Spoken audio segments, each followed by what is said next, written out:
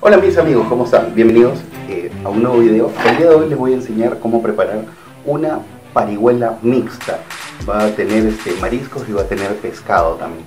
Lo primero que vamos a, necesitar, obviamente, aquí yo tengo un preparado que les voy a enseñar, es este de acá. Este preparado contiene eh, ají panca, ají amarillo, ajo, eh, y, y basta, eso es todo. Ahora. Vamos a proseguir con los siguientes ingredientes que es eh, aquí yo tengo una mixtura de mariscos que contiene camarón, eh, tiene conchas, tiene pota, tiene eh, este pulpo también, tiene macha, tiene también caracoles, que por acá, están los caracoles, eso ya lo tengo precocido y tenemos por aquí también los cangrejos bien lavaditos, ahora tenemos por aquí también eso acá que lo conocemos como yuyo o cochayuyo algunos. Tenemos la cebolla, esta es la cebolla la cebolla roja y acá tenemos el tomate. Ahora para acompañar eh, podemos tener también un poco de, eh, de estos ajíes y también los limones para que puedan agregarle también a la hora de comer también ya tenemos esos hermosos choclos eh, muy buenos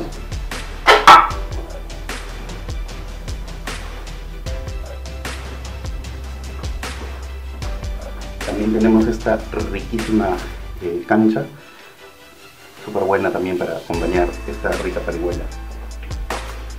Otro de nuestros ingredientes, que es un poquito de sal, y como siempre nuestro aceite extra virgen. Y unas cuantas hojas de culantro.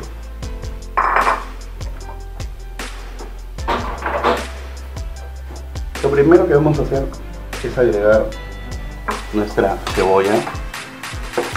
Aquí ya tenemos nuestra sartén precalentada. Y lo primero que vamos a hacer es agregarle un chorrito de aceite extra virgen. Como ya tenemos nuestra sartén precalentada, vamos a esparcir un poco el aceite y vamos a proceder a agregar la cebolla.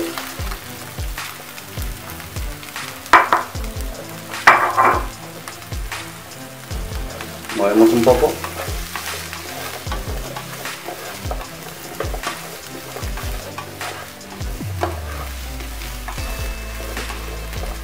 esperamos un ratito que suelte un poquito el jugo de la cebolla como unos 10-15 segundos para proceder a agregar el tomate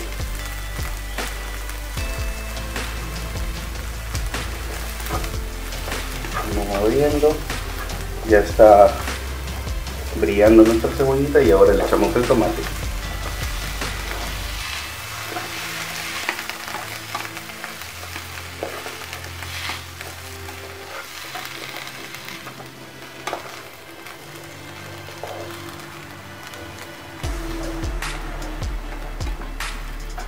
Lo dejamos ahí espacio de dos minutos.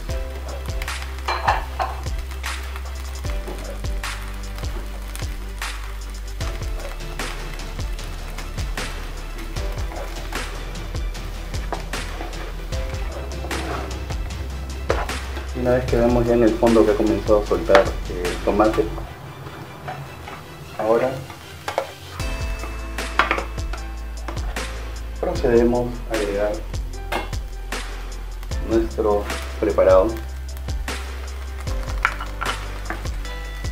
Comenzamos a, revolver.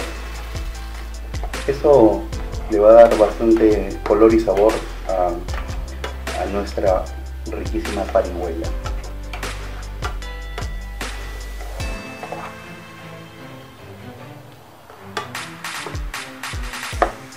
dejamos que se dore por espacio de unos 10 minutos y volvemos. Bien, como podrán ver, ya comenzó a soltar bastante nuestro riquísimo aderezo que estamos haciendo. Y ya está, ya está pintada la cebolla, nuestro tomate también ya se confundió con el color de, nuestro ají panca y ají amarillo. Y como ven, ya está.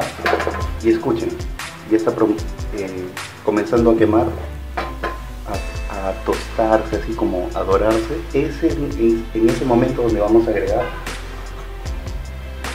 nuestros mariscos.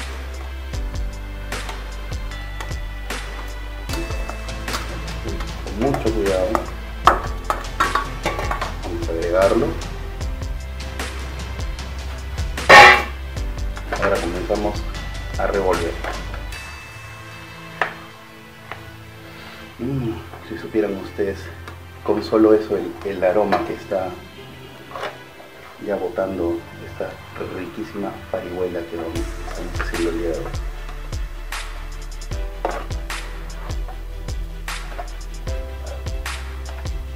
Aquí yo estoy haciendo para 6 personas, ¿ya?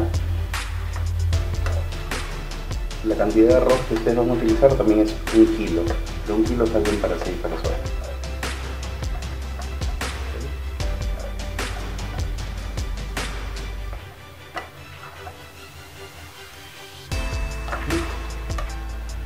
Una vez que ya está eso,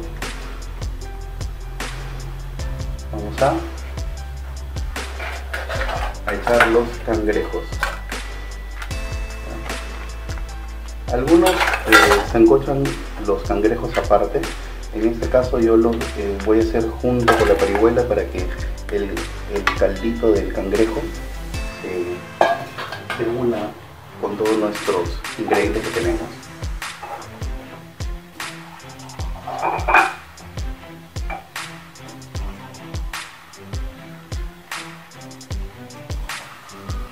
Vamos a proceder a echar una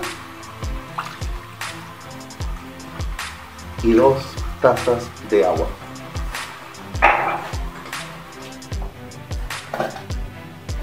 Y con esto va a quedar maravilloso.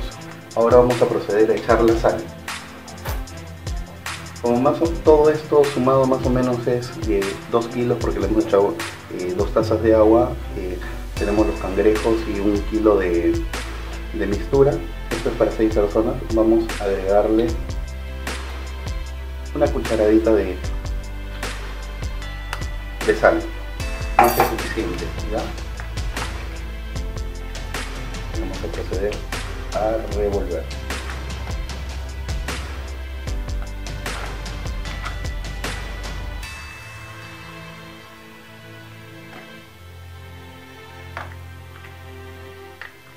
Y ahora lo dejamos cocinar por espacio de 20 minutos y van a ver cómo va a quedar esto, va a quedar riquísimo. Y bien, veamos cómo, cómo está yendo. Está súper buenaza. Ajá. Ya nuestros, nuestros cangrejos ya están a punto. Unos 10 minutos más y esto ya está.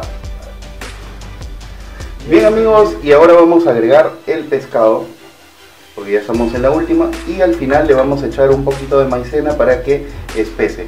Vamos a dejarlo ahí eh, unos 5 o 6 minutos y regresamos. Bien amigos, esto ya está en su punto. Eh, me olvidé de grabar la parte donde eché la maicena, pero miren, ya está espesito esto. Y ahora vamos a proceder ya a vaciarlo eh, en una fuente.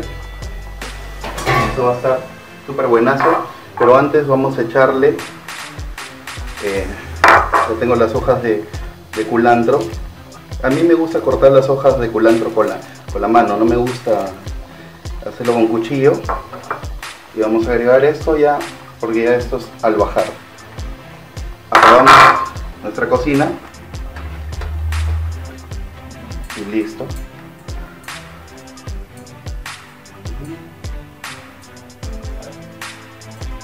Y esto ya está. No necesitamos hacerlo hervir. Ya está.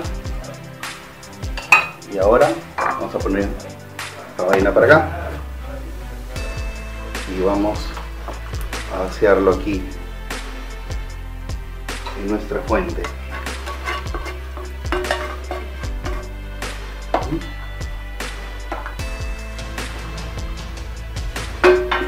Pareció? Esta riquísima fuente que ya está.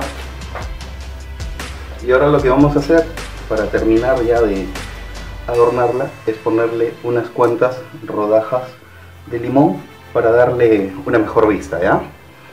Yo solamente recomiendo ponerle tres nada más, porque tampoco podemos llenarle todo el contorno, pero yo creo que con tres es más que suficiente. Hasta le podemos poner una más, por si es que les gusta ponerle más limón, le ponemos así. Y le pueden espolvorear también un poquito de eh, eh, queso parmesano si ustedes gustan, pero eso ya le cambia la, originalidad de lo que es eh, una parihuela. Así es que amigos, esto lo vamos a servir con arroz, vamos a, a llevarlo en mesa y ustedes van a ver cómo va a quedar. Bien muchachos, ahí están, ustedes vean, la parihuela está riquísima, ahí tenemos el arroz decorado con un poquito de culantro, ya tenemos la riquísima canchita, ahora tenemos los choclos y acá yo he hecho un preparado em, de ajíes variados, ají, ají moche, ají mirasol, le he agregado un poco de... Eh, compré un sobre filtrante de anís, le agregué el contenido, también le eché un poquito de orégano eh, un poquito de culantro y luego un poco de aceite extra virgen. De verdad que esto está buenazo. Si ustedes quieren le agrego un poco de vinagre, pero yo lo voy a comer así. Así que espero les haya gustado este video. Si les gusta, compártenlo. Si quieran más recetas, simplemente escríbame que no les voy a contestar. Chao. No, sí les voy a contestar. Un abrazo a todos y cuídense. Chao, chao, chao.